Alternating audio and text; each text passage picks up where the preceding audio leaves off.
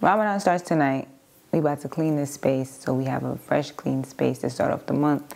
We love that feeling. Um, we have a lot to do. Gotta wash dishes, gotta mop, gotta sweep. Gotta wash these dishes.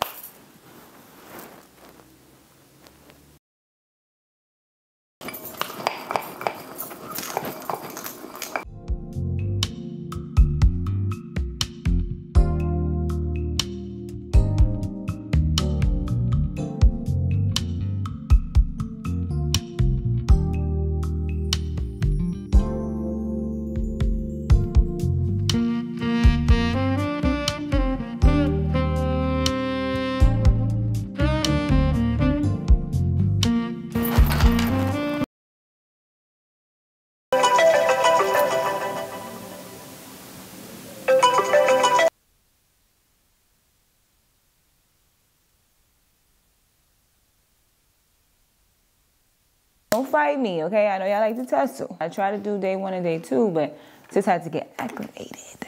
So it is 5:55 right now. Um, so I get to breakfast in an hour. I'm defrosting my chicken because I'm gonna try to make baked chicken tonight. It's the first time I'm ever making baked chicken. Um, I'm gonna cook shrimp for Greg, regular, regular stuff. Um, and but I wanted to share with you guys what I try to do in my day to day for this Ramadan. I'm really trying to be productive. I got a whole list. I got a whole goals. I wrote down my goals and I got a checklist. Um, I also wrote down my du'as. So I bought this book. It's cute. You can just do any journal. I think I love writing things down. One thing about me, I'm gonna write it down. If I have an idea, a content idea, if I if I have a thought, if I can't express myself, I'm gonna write it down. I think it's just my way of really, you know, getting my thoughts together. I thought it was just so cute. So this is my Ramadan book. This is my I said I even wrote it here. Becoming a better servant because that is the goal for 2024 on. And so I'm starting this with Ramadan, but this is just all things Deen. This is just all things that I want to do, my thoughts, all of the above. So I started off with just a journal entry of like Ramadan starting. Some of my goals for Ramadan is to read Quran, watch lectures every day, make dua every day, morning and night. I used to like, I'm not gonna lie, I'm at fault for when I wake up. First thing I go for is my phone, and but it's so funny because recently I've been saying Alhamdulillah and then go for my phone. But I want to just take a like a few minutes to just not even touch my phone and really say Alhamdulillah, but also just pray, make dua. Praying on time. So this is something that is very important because I notice myself, I'll, I won't miss the prayer. However, I'll wait to the last 10 minutes of the time frame of between Asr or Maghrib and Maghrib or Fajr and Dhuhr. Like, you know what I mean? Like, I'll wait. And I just like, why are you waiting when you're just scrolling your phone? Can we? You can drop your phone down. It's not going anywhere. Drop your phone, pray, come back. You can come back, right? So that's something I'm trying to be intentional about, especially during Ramadan. So it could be a routine. until after Ramadan, I'm still on it. So every day I'm reading Quran. So this is the Quran that I've been reading. It's called the Clear Quran. And it's so crazy. Like, the more I've been reading, the more I've been learning. The way I speak is differently. The way I feel is differently. The way I think is differently. And it's such a beautiful thing to witness, especially for myself, because um, being a Muslim that was born Muslim, we also have a revert experience as we get older. Because as you're a kid, right, you're thinking like, you're doing what your parents tell you to do, right? So I'm praying because my mother said this is good. I'm praying because my father said I have to pray. I'm covering up because my father said I'm going to cover up. They'll teach you things as well, like this is what Allah says. But as a kid, you're also doing it because your parents says to do it, right? You may not fully understand who Allah is, but you're going to say Allahu Akbar because this is something that you you've been practicing. This is something that you've learned, right? But as an adult, when you're able to make the decisions by yourself, it's just so different. Like it, it it hits differently because it's like, yo, this is something that I'm choosing for myself. This is something that I feel is true. This is something that you cannot steer me any wrong way. And make dua. Be grateful. Thank Allah. every day. You awake. That's the number one thing. I feel like you you alive right now. Thank Allah. Alhamdulillah. Subhanallah. Like thank Him. I'm about to cook because it's 6:05 and this is a new recipe. So come cook with me. Y'all already know what time it is. Welcome back to another episode of Cooking with Rayya. You know what we got to do and unfortunately, I always wait to the last second, so I can't really show y'all exactly what I be doing. Tonight, we are cooking baked chicken for me. I had made this mashed potatoes uh, the other night, and mashed potatoes can go bad, so I want to finish this out. Shrimp for Greg. Baked chicken recipe.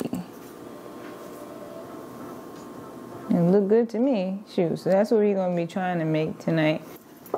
I have ugh, six wings here. I'm only gonna use three because I may want it for something else. Some of the seasonings that you know you use all the time, don't be like me and get the little one. Like this, oh, we always need garlic powder.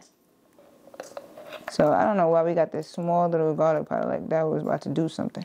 I saw two videos like this and I felt like they was coming for me. I don't know why, but I felt like they was coming for me personally. So the two videos was basically saying they were like, I don't know how you don't know how to cook. All you have to do is follow a recipe. And I feel like people are just so annoying. Cooking is not just following a recipe. It's also knowing what to put in a recipe when, you know, it's a little bland. It's a lot. She put a lot of ingredients in this one. It better be hitting. This is my girl right here though. One thing about it, she be making feel she be making me feel like the top chef. I am a flats girl through and through. I like to separate them personally. I just find where the bone connects. And I'm get this on.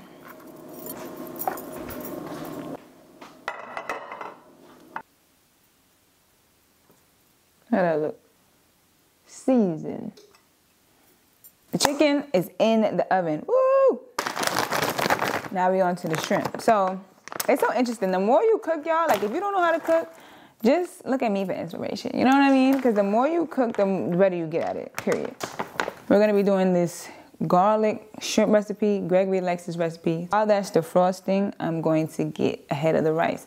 Now, we got a rice cooker. Now, before I was like cooking it on the stove and it would be a hit or miss. Now, it's always a hit. I think I have some rice in there though, so I don't have to make a lot, but I'm gonna make some anyway. I think it's just better if I do make some rice. Jasmine rice is superior. Trust me, just get a rice cooker. It'll change your life. Don't embarrass me now. Rice cooking. And that's it. For him, it takes him an hour to get home. So dinner for him should be ready before he gets home. But I just want to make sure this is seasoned so that when he gets here, it's good. My chicken has 12 more minutes. I'm about to go pray. Then we'll come back. By the time I'm finished, it should be done. The chicken is done. See how it's looking.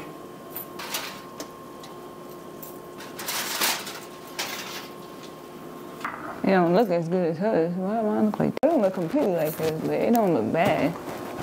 Let's spoon that. She had a lot of sauce. I'm over here struggling. But it looked pretty good to me. Here's chicken. Spoon.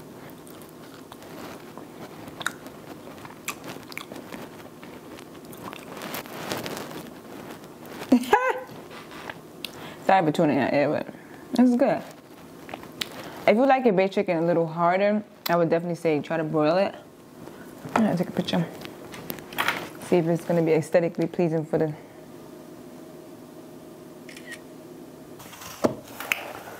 So yeah, Greg made it home.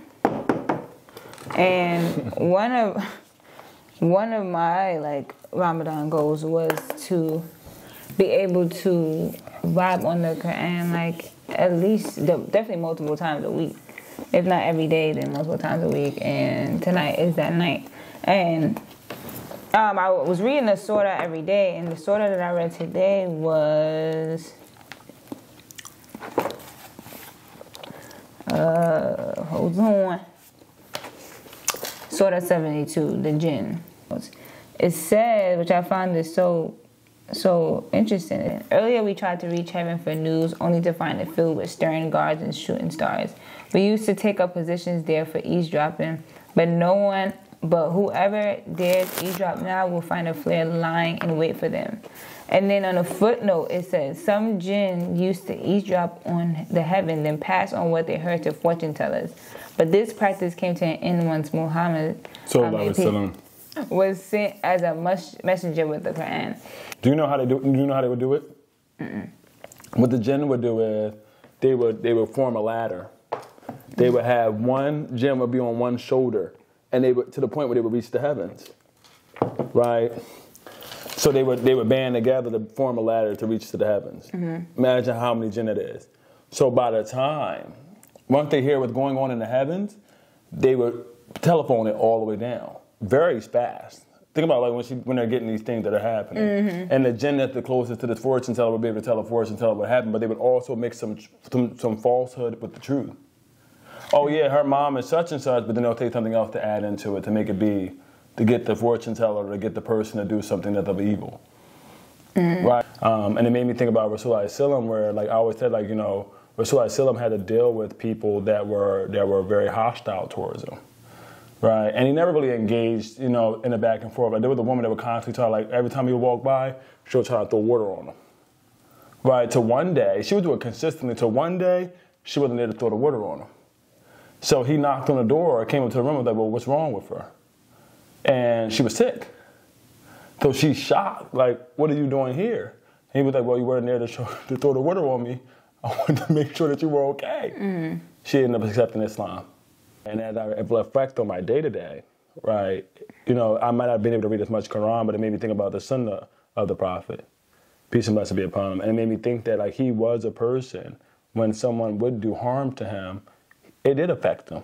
Yeah. He, you know, he didn't like the fact that the woman threw. Like, it, it makes you feel like maybe I'm doing something wrong. Like, how can I reach this person? Like, why do you have hostility towards me? I did nothing wrong to you. When people threw them stones at him, he did nothing wrong but come in and just preach the word of Allah or he's minding his own business, then people would just find a way to just kind of like try to provoke him. Mm-hmm. Right? But he always prayed for either of those people. But when he made like basically say like no perhaps, and Allah did turn that whole community of Taif Muslim. Um, for any of my Muslim brothers and sisters out there, like if you're in a position where you feel like that someone is challenging you, your boss at work might be trying to give you a hard time, the neighbor might be giving you a hard time, shoot, maybe someone in your family is giving you a hard time because everybody's fast and everybody's frustrated just remember that the Prophet ﷺ was also given a hard time. And his response wasn't, I'm gonna give I'm gonna give you a lashing or a tongue lashing, which you know, we're all, you know, as humans we're vulnerable to, and susceptible to doing. But Rasulullah he just prayed for people and or he just didn't engage in it.